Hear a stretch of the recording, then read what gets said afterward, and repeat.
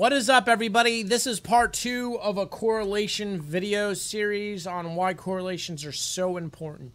If you've not watched part one on correlations or this video, none of this will make sense because I'm going to pick up from that point forward and show you another correlation video example from the same day as that trading session, which took place on August 3rd, 2023. You're about to see some more correlated trades on August 3rd, 2023, later in the session. So we're going to pick up from there and talk about correlations. I'm not going to explain why I use them and why they're so good. So if you didn't watch that video, you need to go watch it. Otherwise, this will make absolutely no sense. All right, so let's go ahead and jump into it. First and foremost, I'm going to make myself disappear and just give you a little bit of context. So you have a pink box up here. That is the N, that is the ES. This is the NQ, and this is Russell. And what's happening is all three markets are breaking out of a range at exactly the same time. And like I said in the first correlation video, when all three markets move at the exact same time, the moves can be powerful. However, what you're going to see me do is I'm going to cut this trade, I'm going to reverse it and go long. So we're going to we're not going to really take a good look at this sh short.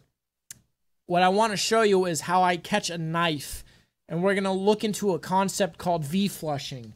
I talk about V flushing and the correlation part 1 video and we're going to expand more on V flushing and then eventually I will have a dedicated video on V flushing and why V flushing is such an important pattern and trigger in my trading.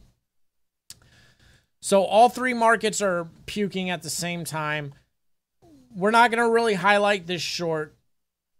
So I go the markets are puking hard at this point. So let me actually so I go, this could be a V flush. I don't know. So basically, what a V flush is, is when a range breaks, it'll push out really hard and then come right back in, creating a V pattern. And and what you need, you need a range. So you need some sort of range like this. And what I'm forecasting, what I think may happen, is let me draw a picture, okay? So again, we have we have our ranges. We have our range in ES right here. And then you have your NQ range. So what I'm looking for is a hard push out and a push back in. That would be a V flush. Okay?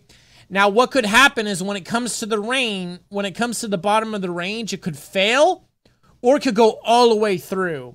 And what I'm what I plan on doing is taking advantage of this.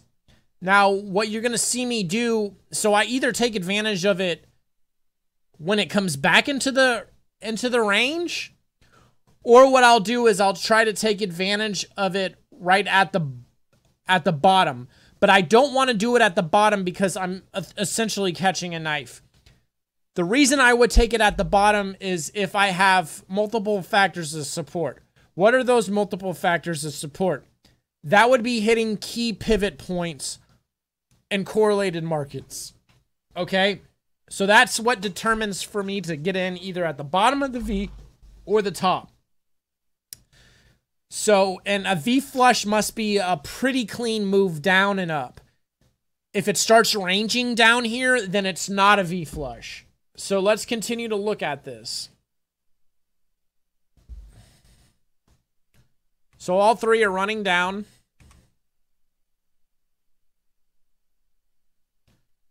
So what I'm doing is making adjustments. So right here, we're, we're breaking in to this zone right here on what looks to be NQ. So this is this red line is a higher time frame low node. It's a, a key low node on the three-year profile you see to the right. But also, if I remove myself from the frame here, there's a clear profile here. Okay. And if you want to know how I draw those profiles, I have a video on that. Or what you could do is you could join my uh, Ko-fi prep membership.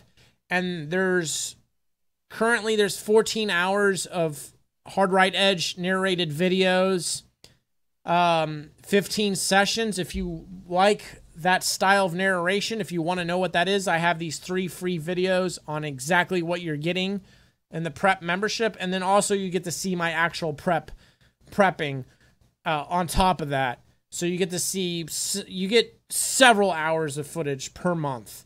And that library, as the months go on, gets bigger. Okay. So your dollar goes and continues to go further as time goes on. So if you want to know how I draw this range here, join the membership section and you can see how I do it, or you can actually see how I do it in this video as well. That's up to you. So what I'm looking for is there could be a potential mid pivot here. So I'm I'm drawing out this val this value zone. Okay, so I'm noticing at this point there's a value zone here. And in this narration I go, I think there could be a V flush there. So right here there's a key profile as well. This is a very good profile. Let me actually get rid of myself so this yellow profile is a very key profile in Russell. Okay. Um, is this Russell or is this ES? This actually might be ES. This is ES. So this is a very key uh, profile in ES right here as we're flushing. And notice this very prominent POC. And this prominent POC, instead of being in the middle like it normally is, it's near the high. So this is the volume point of control. For whatever reason, this bell curve put it near the top. So there might be a good chance we pivot the top of this profile. So I get flat right there. So in that short you just saw, I say I'm going to get flat. So you see me erase it, and then I draw in one that has a value zone. Now, for whatever reason, the POC pivots lower. Okay, but either way, these are prominent nodes, and not only is it a prominent node, but this is the value area high. We're pivoting here um, at the top of this value zone. So now we have two major factors of support.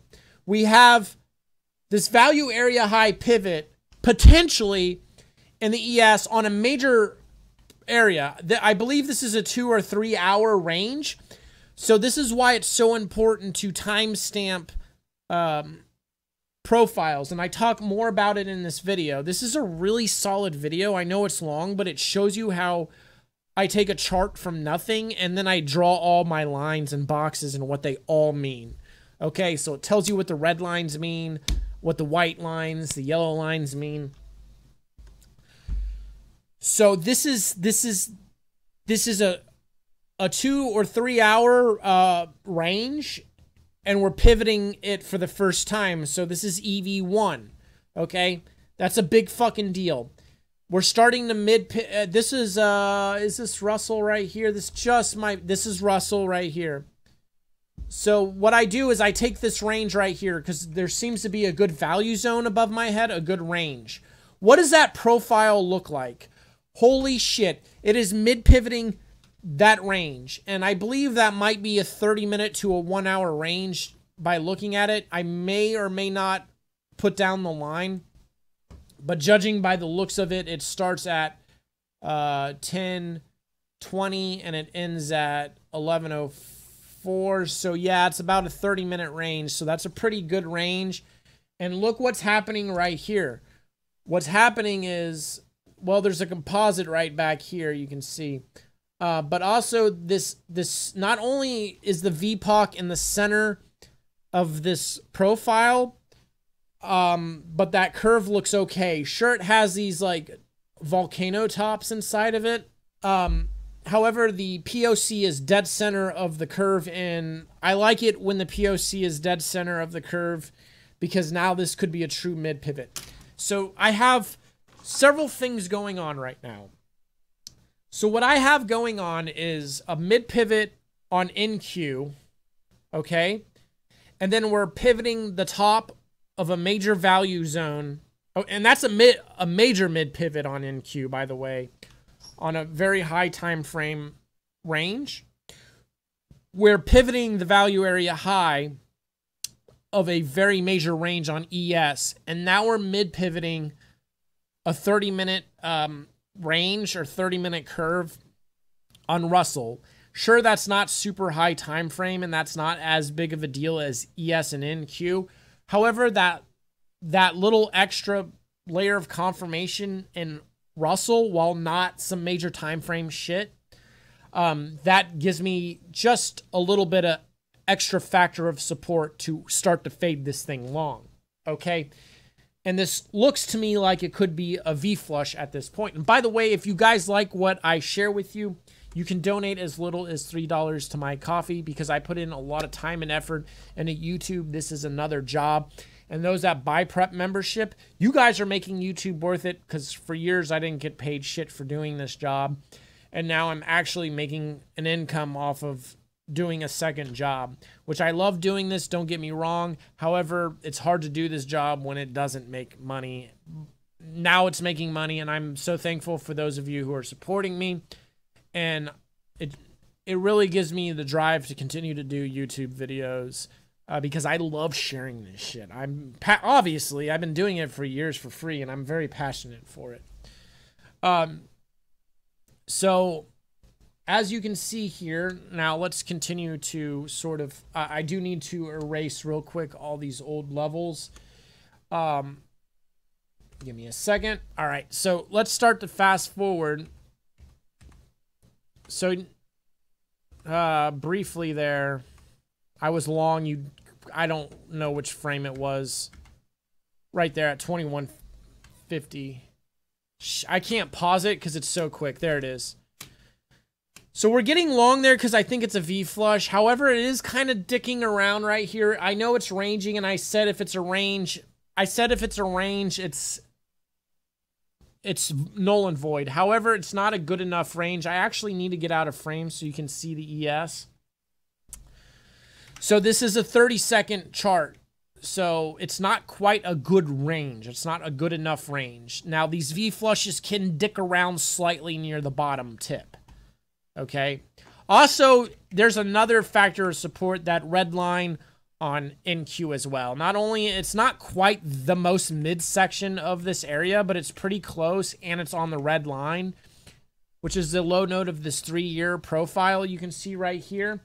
So that's really good. So now it's starting to V up in my favor. So I've elected to get into this thing early.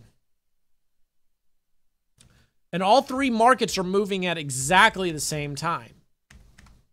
So it did it did kind of drop a little bit. We don't want to panic out of it because sometimes these V flushes can kind of shimmy backwards a little bit. However, it still has that V shape from this perspective. So so here's the thing I say I don't know if they're going to pivot the bottom of the ranges. So Russell is starting to breach into its range bottom. So what I want to see it do is cleanly flush all the way through. If it starts to pivot and puke back down, because one of two things can happen right here from this perspective. And Russell is the first of the three markets to sort of hit its range bottom. So these V flushes can puke back down or they can work their way through. And what I want to see it do is just start to work its way up and through. Now, if it's fast or slow, whatever, I just want to see it not puke back. Because the moment it pukes back to the bottom of the V, it is no longer good. Okay? Um, and Russell is the first of the three markets to break into the bottom of its range, essentially. So Russell could be a leading indicator at this point. So let's continue to play. So you can see, you can see like the trade is clearly working out really well in, in our favor. Um, so what I want to, what I'm starting to get ready to do is I'm going to start taking off most of the size uh, near the bottom of the pink box. So ES hits its pink box uh, right behind my head right here. So ES hits the bottom of that range. Now I'm just waiting for NQ to drag up to the bottom of its range as well.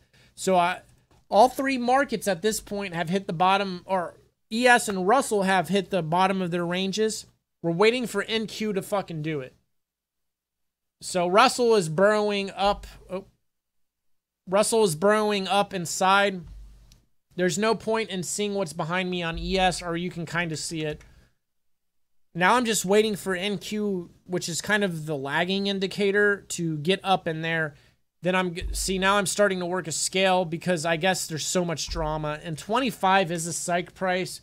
Psych prices tend to influence shit, so you can see me working most of the size out. We're taking 10 of 12 lots off at that point, and now I'm left with just two.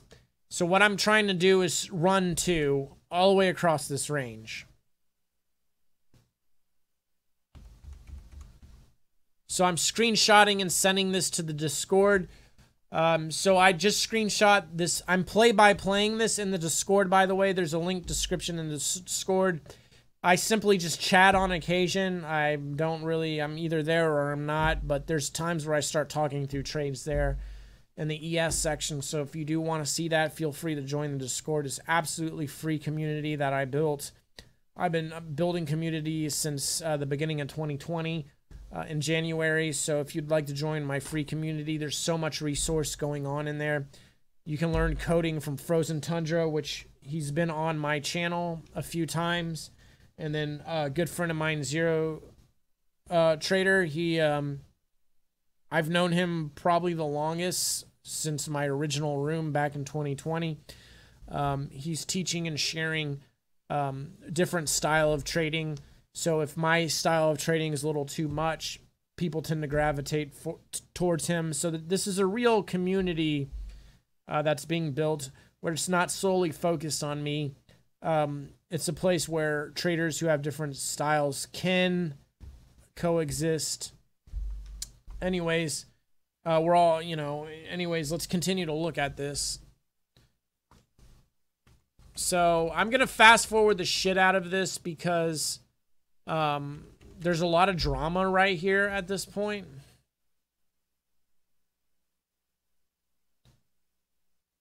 So, you know, I'm kind of setting up value zones to see what could potentially happen. Let's keep continue to go. So I just skipped by several frames. You can see it's hesitating to get into uh, its ranges, but they are successfully going in. Keep fast forwarding. And I'm trying to find where the Dom is. Okay, so I fast forwarded quite a bit here. Now, as you can see, um, Russell barely right here. It's starting to not quite flush all the way through. It's starting to range quite a bit. ES and NQ are starting to pull back some. So I'm still holding. I'm not sure if I still have two on or one because I do scale a one lot way up here near 28. And then the last one lot pretty much comes back and I get out for a point. However, it's still a good fucking trade. Um, yeah, this is right near the close. So what had happened was we did get up into the 27s and I do scale one right up there because it's right over the POC for the session on the RTH um, and ES. So I do elect to scale a one lot off right up there. And then this final lot is going to come off uh, right down here. So unfortunately, I kind of skipped through the section where it's like, okay, I need to get out of this. However, you know, it was really hesitating and struggling to get up there. And the price action started to really consolidate Russell's starting to go way too sideways at this point, and you're you're just not really getting that bang through I need. Um, and again, I'm typically cutting bulk position off. Um, you know, bef- before target. Plus, there's so much going on in the higher time frame, like that. There's a major support and resistance level up here that I do talk about in this video that's still in play in my opinion and the higher time frame is essentially pushing the market down um, now what is interesting here is there is a red box you can see on es uh, let's go backwards actually to where you can just uh, see that we're at 35 38 So, um, oh, that's right. I scale right because we start to pivot off that white box right there. So, I know this is a little jumbly of a mess right here. I apologize, guys. So, I do pivot. I do start to scale because of us touching the bottom of this white box, which is essentially a value zone or a bell curve in this section. And it's an EV0. And when it's coming up there, I do mention in the Discord that, you know, I just have a one lot on now because there's very there's very much a high probability this fucking shit comes back. NQ doesn't quite hit that white box. However, the fact that ES did it, it's like, ugh, you know. And also ES is pivoting right here underneath this red line, which is a major support resistant or a major low node, which it's now resisting that low node. Arguably, this red box here is the most major support resistance area. However, where, you know, this, you know, we can get a pivot in this white box section that I just pointed out right here. And NQ is kind of doing it too. And typically, typically those things need to get a good pivot. And the amount of chopping and struggling is pretty fierce. And also when we when we go forward, let me erase all this shit right here. When we go back to minute marker 35, um, right here. See the sand color 27? That's the point of control for the entire fucking session. So that's very gravitational. Um, so for me, the fact that we're pivoting the white box and then you have the VPOC right under us with over 22,000 contracts that have traded, for me, that's like, well, shit, that is a very high probability of. There's a good chance that this is going to have a hard time going through. And then also Russell is just it's starting to range and it's not at all getting in the its range. It, it's it's not at all getting in its range. Let's see if I have a bigger screenshot of it right here. Russell's should be just cleanly sweeping up through. And there's also a value zone up here as well. and now it's all starting to come back to me, guys, why I scaled up there. We get a top tick on this new range right here. You can barely see it, but in the pink box, this is a new range. We're getting a top tick here, and then you can see there's a white box here. This is the official value, value zone, which it's a 1.5 hour value zone, and it just tests on its range top tick right here um, for the first time. So you're getting a top tick of a of a new range. So you're getting two things going on here. You're testing this upper value zone in the circle for the first time. And you're also getting a top tick on a new range that's below it. So a top tick and testing the value zone at the at the same time is kind of like a really solid signal. This might go down. And if I'm not mistaken, ES hits that white box I showed you for the first time as well. Let's go back and just kind of look at it because it's kind of, you know, reviewing this shit after the fact. Yeah, so you're getting the first test of uh, ES at the same fucking exact time as well. So um, let me actually double check on my charts real quick. Okay, so now you can see things a, a, lot more clearly once I get my fucking head out of the way. Here's that rage. Here's that white box up here. Here's that top tick on Russell. And I have the crosshair tool right here, and to the left is ES. This is where ES would be hitting the white box for the first time. So actually, ES and uh, Russell both hit their white box at the same time for the first time. And then also uh, you get that small top tick you can see right here and Russell as well. So that was why I scaled, you know, a, a one lot off near the price of 27 and then I decided to leave the last one on as a Hail Mary only in case I knew there was a really good chance it could fucking fail but you never know so I wanted to leave it on for a Hail Mary. So at this point I think we could just kind of watch the last contract come out. That right there was uh that Russell's fucking failing. Russell's just absolutely failing the V flush. It's done with. It's like over with. That's not good. Um, the markets have desynced. They're not quite sunk up. I'm waiting for the last. There's that. There's a. And then here we go. We're going to get the fuck out. On the last lot, right? Oh, there's a bottom tick on um, Russell there. Unfortunately, that went so quick. You can kind of see it right here. So for me, I'm like, I'm going to try to hold it a little longer because we do have a bottom tick. Um, but unfortunately, the fees are flushing in. So now everything's out of sync. Um, NQ's not pulling back nearly uh, as far as our ES. So, and also this red box is a major zone in the uh, ES. So I'm hoping at this point it could hold um, and that the markets will push up. But I do believe I, yeah, we're looking to just get the fuck out of it at this. There you go. So there it was. It was still a good trade, nevertheless.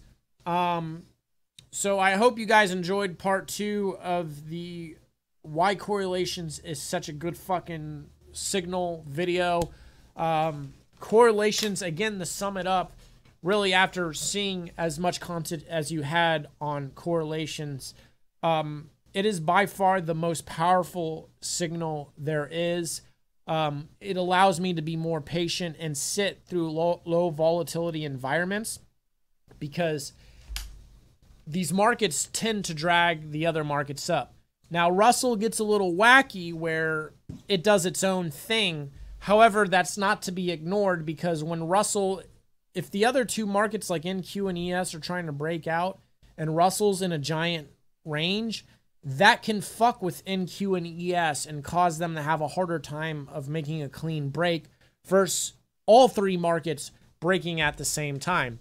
And I said this in the other video, I'll say it here. I've been hearing good things about Dow Jones. I've not looked at Dow Jones.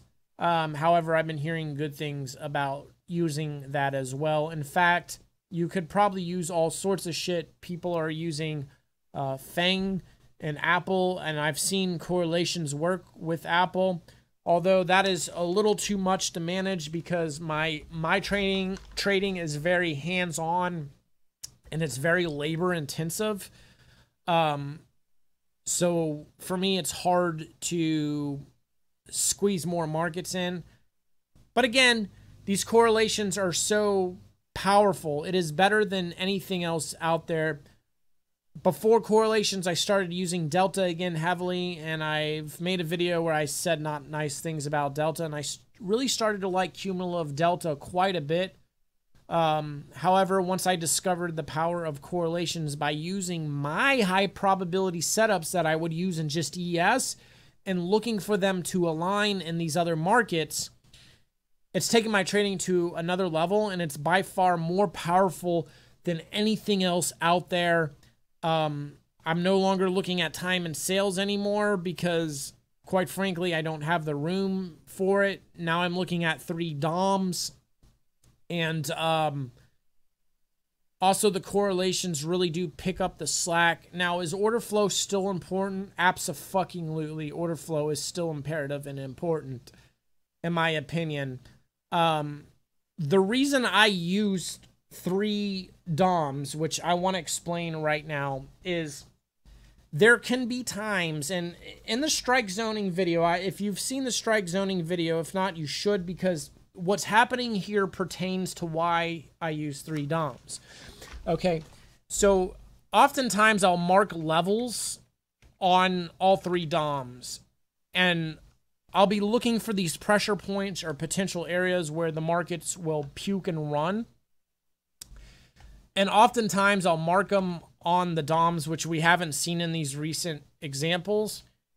And um, that way, because I have three screens, a screen down here, which is just the DOMs, and I still use Auction Vista, by the way, for NQ. I have a screen up here for NQES, Actually, what you're seeing is all three screens. This is a screen up here. Down here's the Russell screen, and then we have a third monitor on a different computer because I execute on a different computer with Jigsaw. So what you're seeing is an overlay of three different screens. Just having levels marked out on Jigsaw allows my eyes to not have to travel across so much real estate. And it's easy to see the profiles on the profiles where I could start executing ES. And there's times where I'm going to execute ES where I can't take my eyes off the DOMs. However, I like I, there are times where I cannot look away because that split second could really be the difference between a bad trade and a, a, a break even or a loser. So having the DOMs in my peripherals and seeing all three markets move together really helps because if I'm trying to get long and I see NQ just ripping off the top of my DOM, that's good. And then also I want to know, you know, I, am also still reading the order flow or more so feeling order flow. I don't think you necessarily like I don't read order flow as much as I feel it. There's a huge difference. At some point, because I've been looking at the DOMs for so long, there's a feel to it that I can't really explain. And it's just not the numbers that are coming in, it's the way the market's bouncing. Eh, does it rip up really quick and then drop in slow and then rip up really quick and drop in slow? That to me tells me things. And that's not really necessarily a number thing. And then there's things like slipping, that's very important that you only can really see on a DOM. You could see it on other tools, but it's easier to see on a DOM. And that's a very powerful technique. In the art of the trade, I talk about how high of a statistic leveraging a slip in my favor has. It's more of a high volatility type thing, and I'm starting to see more volatility come into the markets. So slipping is kind of a valid thing at this point. Whereas when the markets are really low volatility, slipping isn't a big thing. However, NQ being as thin as it is, slips all the time. So we want to leverage slips on NQ if we take an NQ trade. However, like if I can see that Russell, because Russell's on the right, ES in the middle, NQ on the left. If I see like, you know, if I'm really in a trade and locked in, like, is Russell pushing up to a point of control? And then I don't have to look at these other screens and and then if the markets sweep and there's clearly sweeping on the DOMs, I want to know if it's sweeping on all three markets or if it's not sweeping on all three markets. Are they sweeping one market? Are they sweeping one market, but the other market tries to sweep, but they're just iceberging instead? That's giving me a bunch of contextual cueing as well. And I do want to see where people are putting bigger limit orders as well. And it's just context. It's not to make a stout trading decision. It's just extra information to make a decision. So having all three DOMs, and I'm used to it because, again, in my how to read a DOM video, if that's when I used to trade just bonds. And back then, um, I would trade the 10 year, which was the slowest out of all the markets, you know, as a treasury market. I'd look at ZB, ZF, TN10, Ultra Bonds, and ES for inverse correlations. So at one point, I was strictly DOM trading and looking at six different DOMs all in one go for months and months. So there's something in that by doing that that it's it just natural for me to look at three DOMs. Like it's it's like all of a sudden it's like not it's not that foreign because I've done it in the past. So to conclude this correlation video, I think having three DOMs up is important because, again, in the strike zoning video, I talk about cone of vision. And instead of looking at three monitors to look at all three markets, I can see what they're all doing in an area that is literally true to size because, you know, these screen shares right here are way too small. The monitors aren't that small.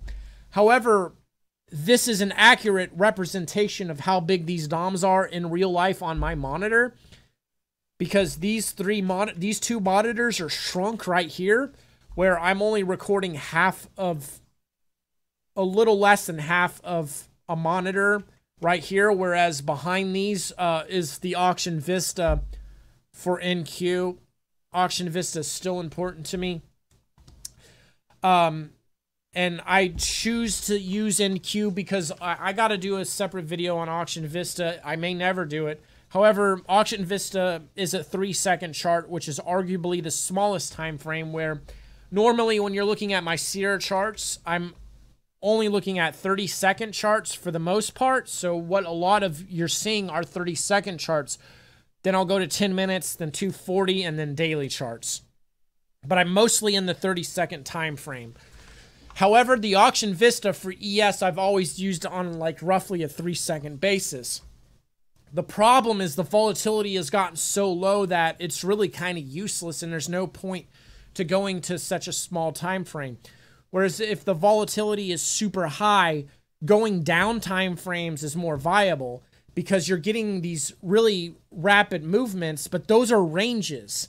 And the problem is on a 30 second bar, it could have moved up and down so many times in a very high volatility market that 30 second bar is not capturing a range on a three second chart that I need to know about that micro range.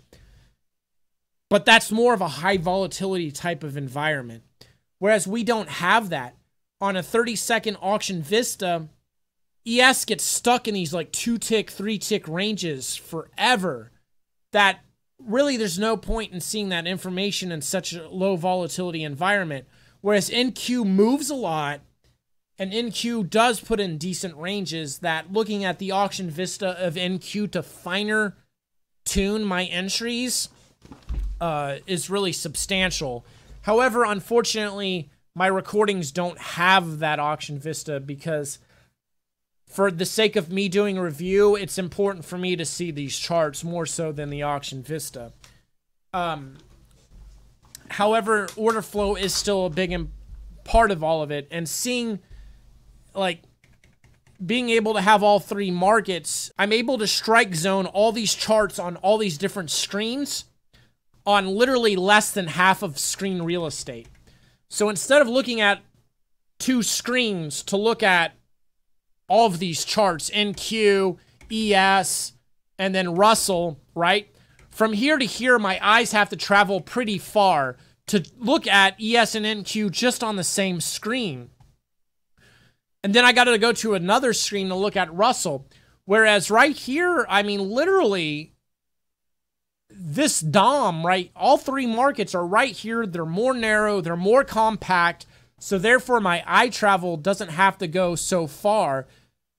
And now I can keep track of all three markets during a critical time of execution where I can't let a trade breathe because there's certain points in time where trade needs to breathe and there's a point in time where trades don't need to breathe and I need to be very quick about it.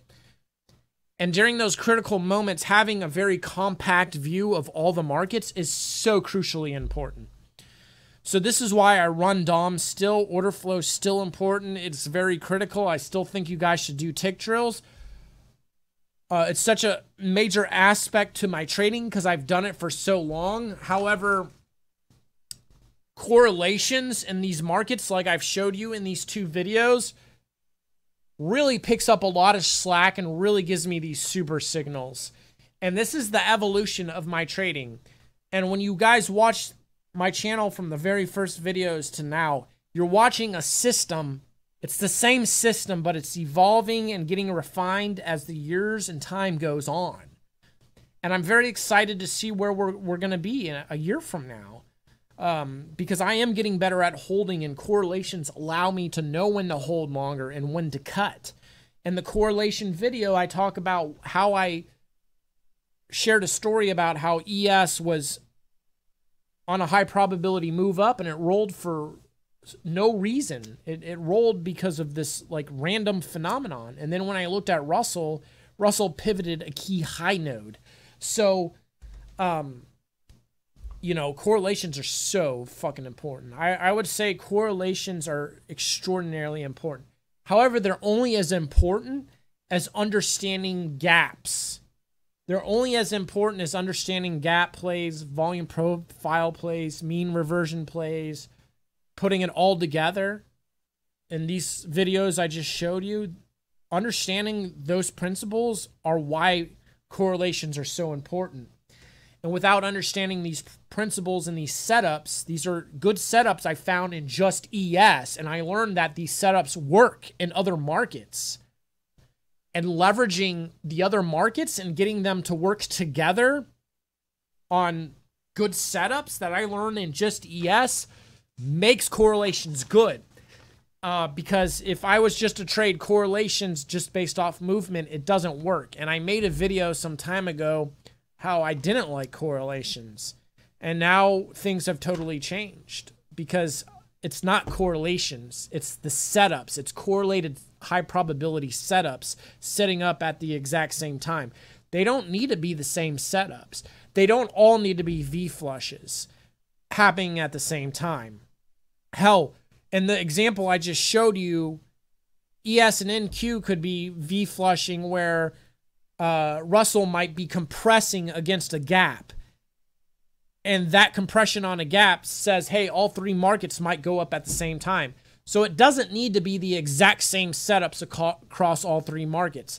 It needs to be setups of good probabilities that agree on direction, but they can be different setups across all three markets. That's when correlations work and make sense. I hope you guys enjoyed this correlation series. If you would like, consider donating as little as $3 to my Ko-fi to support the work I do on YouTube because ultimately your support is what makes doing YouTube worth it. And we'll see you guys in the next video.